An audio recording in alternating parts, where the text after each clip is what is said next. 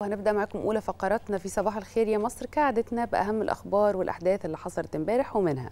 دكتور مصطفى مدبولي رئيس الوزراء عقد اجتماع أمس لمناقشة حلول مشكلة انقطاع الكهرباء. وسبل تقليل فترة تخفيف الأحمال والتوصل إلى حلول جذرية للأزمة. ولفت دكتور مصطفى مدبولي إلى توجيهات الرئيس عبد الفتاح السيسي الخاصة بسرعة العمل على إنهاء أزمة انقطاع الكهرباء.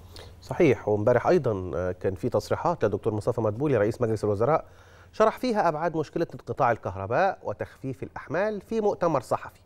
وأكد إن في مليار و180 مليون دولار هيتم تخصيصها لتجاوز هذه الأزمة خلال فترة الصيف على أن يتم وقف قطع الكهرباء بشكل نهائي وتام في الأسبوع الثالث من شهر يوليو المقبل.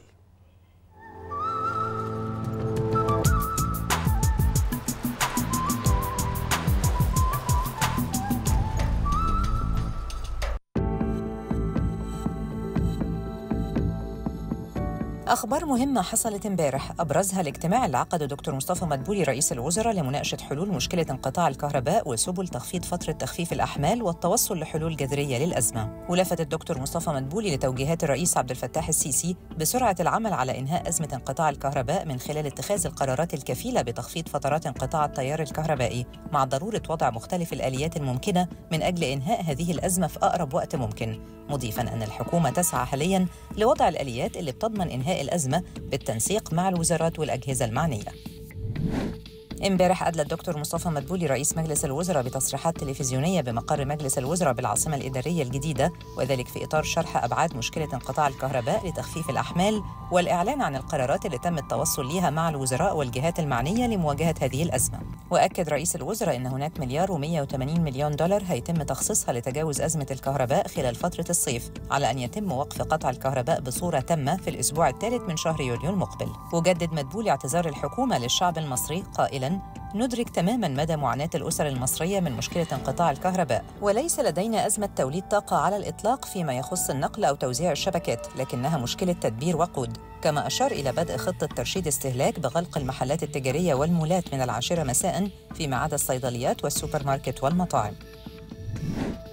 امبارح عقد دكتور مصطفى مدبولي رئيس الوزراء اجتماع بمقر الحكومة بالعاصمة الإدارية الجديدة لمتابعة موقف مبادرات دعم الصادرات المصرية واستهل رئيس مجلس الوزراء الاجتماع بالتأكيد على أن الدولة لديها خطة طموحة تستهدف زيادة الصادرات المصرية لمختلف الأسواق العالمية مشيرا إلى الجهود المبذولة لتطوير المنتج المصري وزيادة قيمته التنافسية فضلا عن تقديم كافة أوجه المساندة للمصدرين وتوفير الحوافز الاستثمارية بما يتماشى مع مستهدفات الدولة ذات الصلة بتعميق الصناعة وزيادة نسبة المكون المحلي وأيضا نمو حصيلة الدولة من النقد الأجنبي.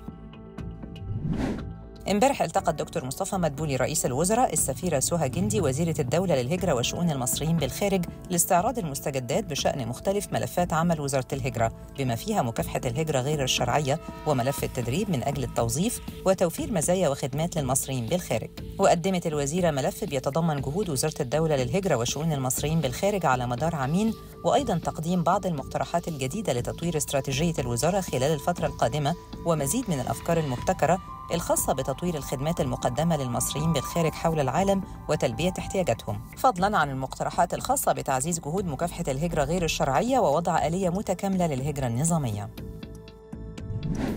امبارح التقى الدكتور مصطفى مدبولي رئيس الوزراء بمقر الحكومة بالعاصمة الإدارية الجديدة غادة والي وكيل السكرتير العام للأمم المتحدة والمديرة التنفيذية لمكتب الأمم المتحدة المعني بالمخدرات والجريمة والمديرة العامة لمكتب الأمم المتحدة في فيينا وذلك لمناقشة جهود منظمة الأمم المتحدة لتقديم الدعم الفني في مجال مكافحة الإدمان والهجرة غير الشرعية.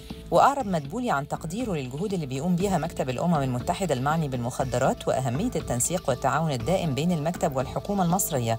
معربا عن تطلعه لتطوير التعاون بين الجانبين خلال الفترة المقبلة.